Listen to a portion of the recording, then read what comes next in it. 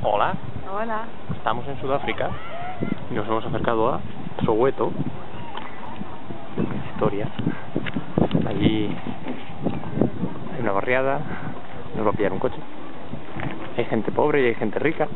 Hemos pasado antes por un sitio súper potentado, con casas de futbolistas y tal. Y esta es la parte pobre. Allí están jugando al fútbol. No sé, casi no se ve en el vídeo. Están jugando al fútbol. Spain. Madrid.